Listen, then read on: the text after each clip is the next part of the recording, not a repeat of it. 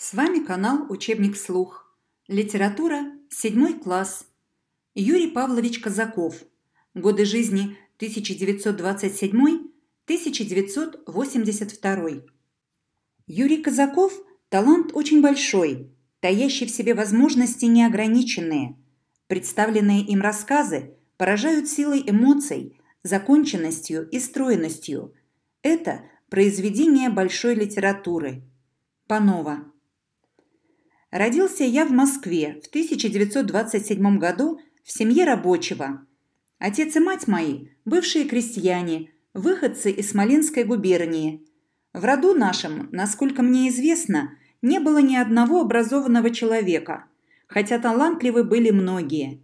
Таким образом, я первый человек в нашей родне, занимающийся литературным трудом. Писателем я стал поздно.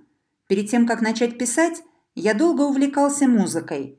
В 1942 году в школе в одном со мной классе учился музыкант.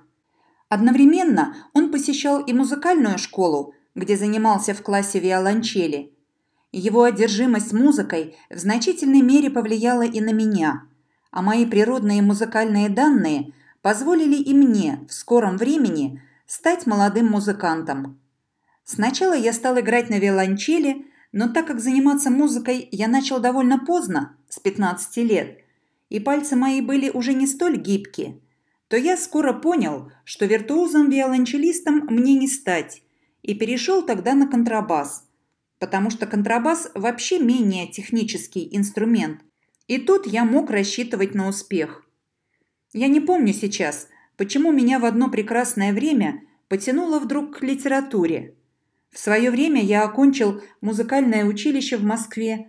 Года три играл в симфонических и джазовых оркестрах, но уже где-то между 1953 и 1954 годами стал все чаще подумывать о себе как о будущем писателе.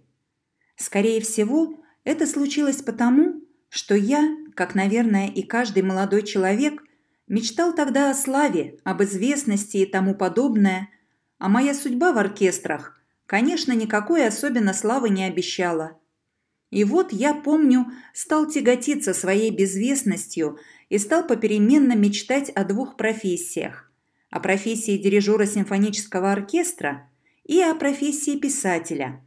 Или на худой конец журналиста. Я страстно хотел увидеть свою фамилию, напечатанной в афише, в газете или в журнале.